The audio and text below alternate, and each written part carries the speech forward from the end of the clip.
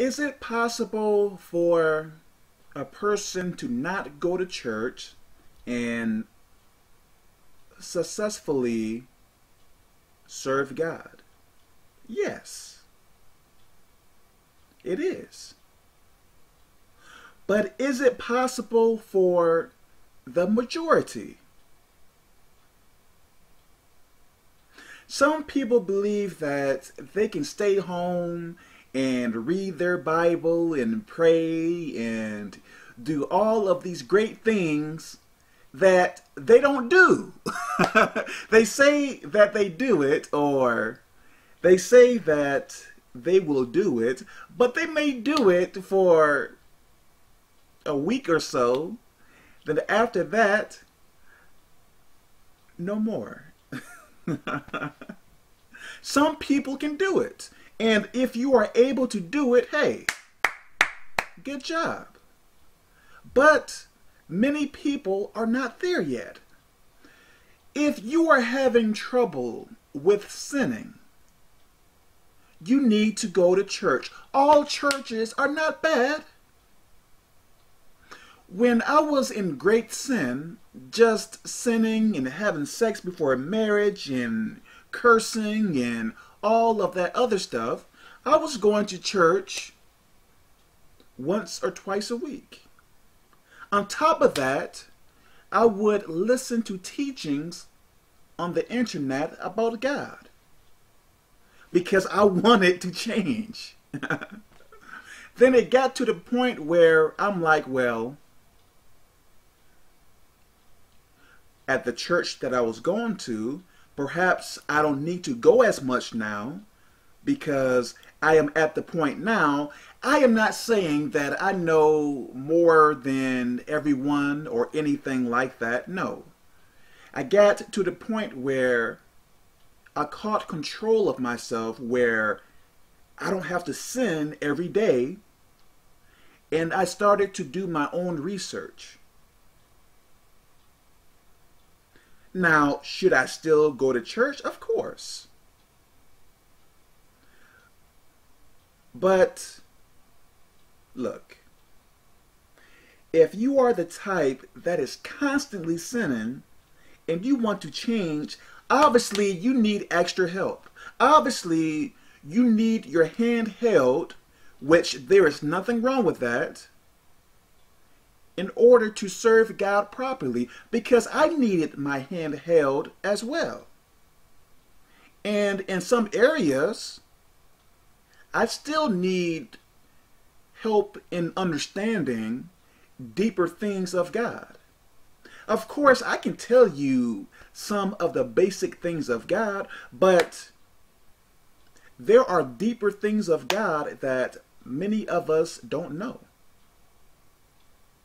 Like, I am learning about certain things now, which blows my mind.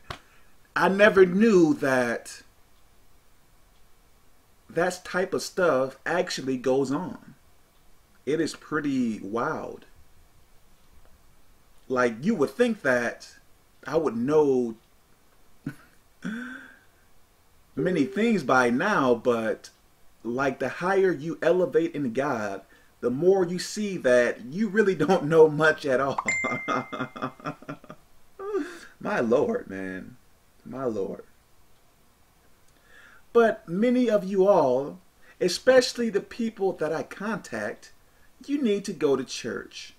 Because you can say that you are going to read your Bible and you are going to pray, but you are not going to be consistent in it.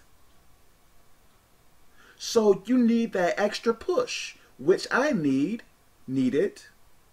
And I still need encouragement and pushing as well. No matter how far you get in God, you still need encouragement. You still need a pushing.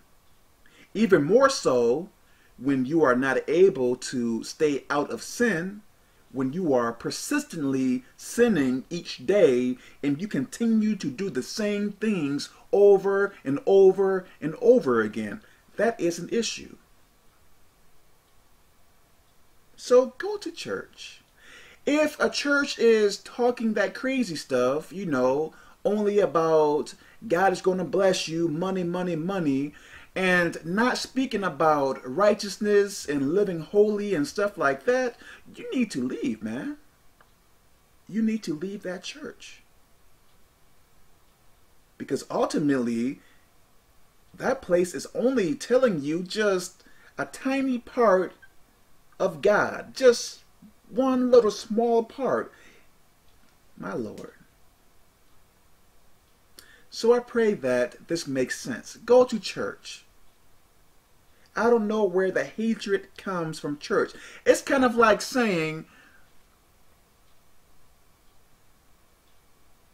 people say that churches are bad. Not all churches. So all are all Christians good? Well, let me not say that because people who call themselves Christian, if you are sinning as much as a sinner, you are not a Christian. You are not there yet. Because a Christian is a follower of God. I believe many people look down upon churches because the bad churches are advertised in front of many. But the good churches are not really advertised as much as these huge bad churches. So people may believe that the church is a bad place to go to. No.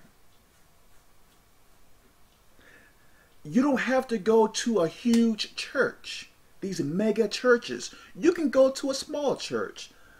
The church that I go to, man, like 20 people or less. you don't have to go to a large church. So I pray that this makes sense. God bless.